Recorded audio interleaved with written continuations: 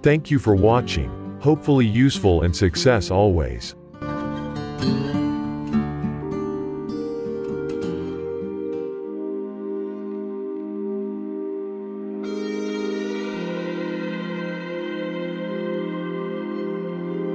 Mengatasi rasa kecewa agar tetap positif.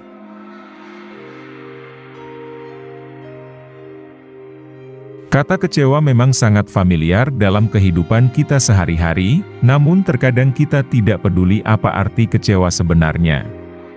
Arti kecewa menurut Kamus Bahasa Indonesia adalah patah semangat, tidak puas, karena keinginan tidak terpenuhi. Makna kekecewaan dalam psikologi adalah suatu keadaan di mana individu merasakan sesuatu yang tidak menyenangkan, menjengkelkan, disertai perasaan marah karena apa yang diinginkan tidak sesuai dengan kenyataan yang sedang terjadi. Siapa yang bisa mengalami kekecewaan? Semua orang bisa mengalami kekecewaan saat kecil, remaja, dewasa, manula bisa mengalami kekecewaan. Tidak peduli seberapa kaya kita, seberapa besar, seberapa sukses dan seberapa kuat kita. Dan mereka semua pasti pernah mengecewakan kita juga, mulai dari orang yang tidak terlalu kita kenal hingga keluarga dekat kita, teman dekat kita, pasangan hidup kita, dan mungkin anak kita sendiri. Mengapa dia bisa kecewa? Kecewa itu manusiawi, jika kita tidak pernah kecewa berarti kita tidak pernah berinteraksi dengan orang lain, tidak punya teman dan tidak punya siapa-siapa sampai sekarang. Benarkah demikian? Karena di mana ada pergaulan, kontak sosial, pertemanan, persahabatan bahkan dengan orang tua sendiri pun kita pernah kecewa. Intinya apabila kita sudah memutuskan untuk membaur dengan lingkungan maka siap-siaplah mengalami kekecewaan. Jadi kekecewaan itu sesuatu hal yang tidak bisa kita hindari, karena seperti kita menghindari kehidupan. Di mana ada kehidupan di situ ada kekecewaan, di mana ada keinginan di situlah ada potensi muncul kekecewaan. Apa yang harus kita lakukan ketika kita kecewa?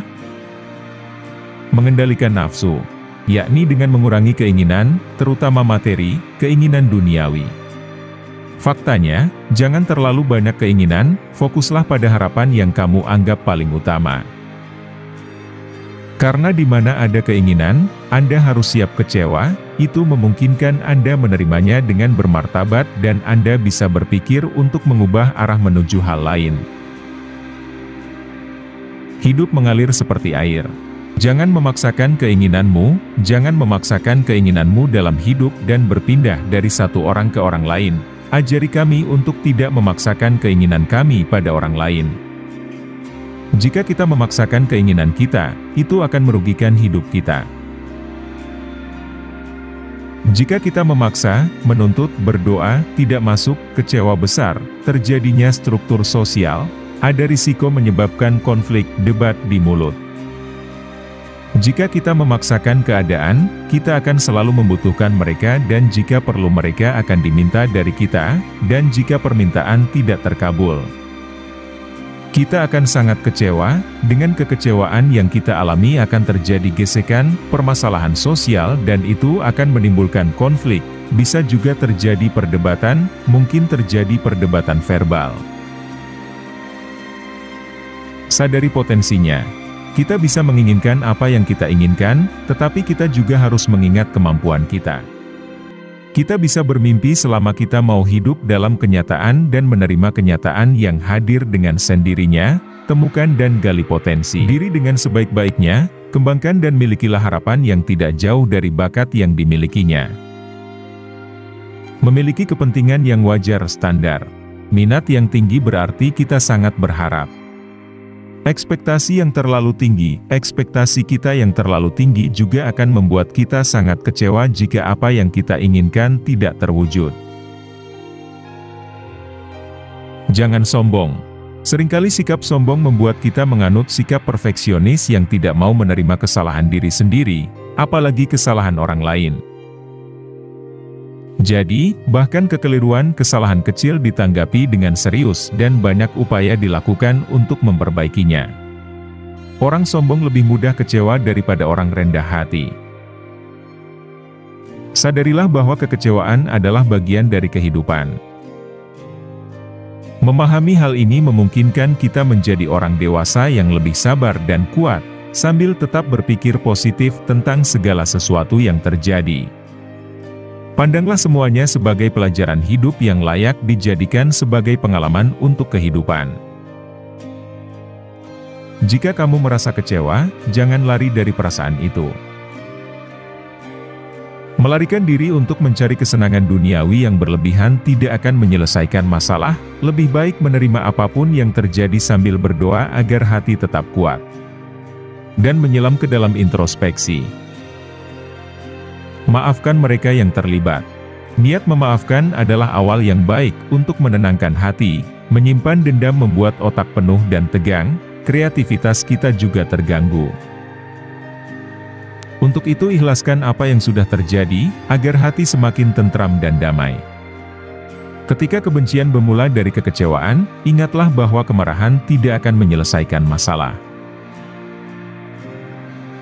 Saat kebencian menguasai amarah akan keluar saat kita kecewa, jika kita tidak bisa meredamnya, maka amarah pasti akan semakin terlihat atau terkadang bisa tersimpan dalam dendam, mengingat itu semua kotoran yang membuat hidup kita semakin rumit.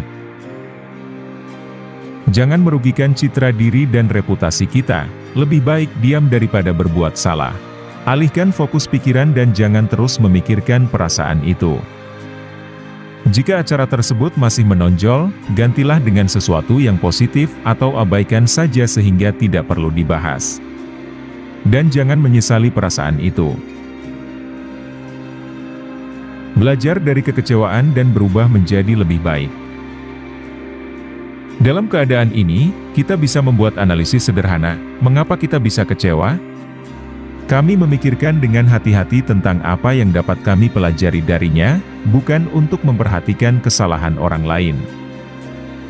Tetapi untuk menemukan kesalahan kami sendiri, menjadi bijaksana. Untuk mengenali hal-hal buruk di dunia yang akan berubah dalam beberapa hari mendatang. Koreksi diri itu penting, yang merupakan awal dari perubahan mutlak untuk kehidupan yang lebih baik dan kesediaan untuk menerima umpan balik dari orang lain.